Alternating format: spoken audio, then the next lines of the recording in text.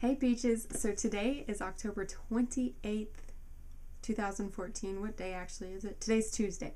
So this Thursday, the 30th, I will be turning 22, and uh, that's exciting. So I had seen this video from Live Lava Live, which is Mitchell Davis. If you guys have not heard of that channel, I'm sorry. Live Lava Live is basically what started me here on YouTube. Um, I used to watch their videos forever ago. Like every single time they put a new one out, I'd be the first one there watching it and so they're what inspired me. Point is, Mitchell did this video called 23 on 23. Uh, last year, when he turned 23, he did 23 things that happened, or facts, or whatever funny things like this. And so I decided to steal his idea and do 21 on 21. In order for this video not to be super long, we're going to get started now. Number one, I got a salon job. Number two, I dyed my hair blonde, and I think this is the first video I've done with my blonde hair, so enjoy. Number three, I decided that I'm going to like what I'm going to like and I don't care what anybody thinks about it.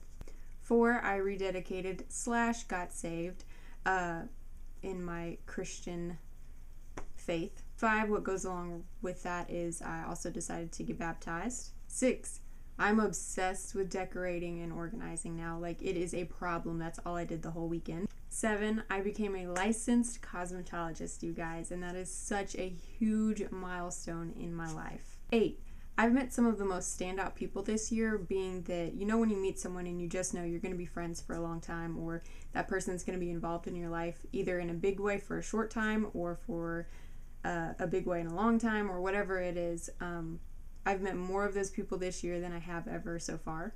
Nine, I've decided that I'm going to be happy, and I firmly believe that being happy is a choice. 10, Gabby turned one this year, and then I started thinking, maybe she turned two, but I'm pretty sure she turned one, and she did. She turned one this year in like May. And Gabby's my cat if you're new here. Number 11, I hit 200 subscribers this year, and I worked my booty off to get to 200. And then 12, I hit 300. 13, I got my last two wisdom teeth out. I have a whole video about that experience that I did uh, shortly after I got them out, so you can check that out. 14, I debated putting this one in here um, or not because it's not a happy thing that happened, but it is something that happened this year. And um, it was monumental, which does not mean necessarily good. It just means it was a big thing that happened. And that is that my grandpa passed away this year. And my grandpa was my very favorite person ever on earth. And uh, so that's changed a lot of the ways that I look at things and feel about things and feel about people. 15, I became obsessed with books. Now, I know probably what you're thinking, like, don't you mean reading? But I don't. I just mean, like, I like to have a lot of books. I think that it looks nice. 16. I got my very first massage this year, which was another experience. It's going to be another video maybe at some point if you guys want that. 17. I've bought more graphic tees this year than I ever have in my entire life. Like, if if every single shirt I own could be a graphic t-shirt, that's all I would have. Number 18, I painted my first pumpkin. I'm going to put a picture of it on Instagram. Um, and I've carved pumpkins before, but I've only done that once as well. And you would think my birthday being the day before Halloween, I'd do that more, but I don't.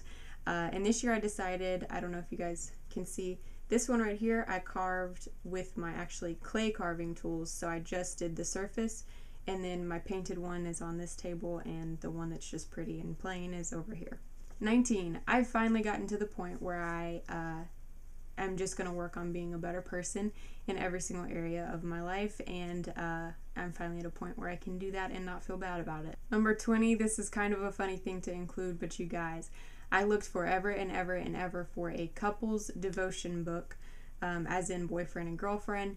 And there's just like nothing. And so I finally found one that's for couples that are dating and not married and that's an accomplishment. And number 21 um, is just that I've gained a church family this year, I've gained a work family this year, and I've just gained a lot of people that care about me and that I care about them, and I can have kind of a deeper friendship and relationship and connection with people because um, time's limited and something I've learned this year about relationships and friendships and people in general, I guess, is just that when you're given something good, um, appreciate it while you have it and if it gets taken from you or if you know something happens where you don't have that connection anymore just to gracefully let go of it and look at it as being thankful that you had the time that you did have.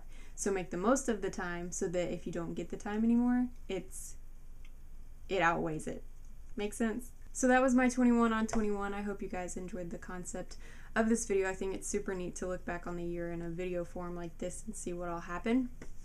Um, let me know what you want to see for my next video. If you have questions for a Sarah Speaks video, I just haven't gotten a lot of questions. Um, not enough to make a, a Sarah Speaks video here lately, so if you do have questions, leave them below. Give this video a thumbs up if you thought that it was good, and let me know what happened this year for you because everyone had a birthday this year, not just me.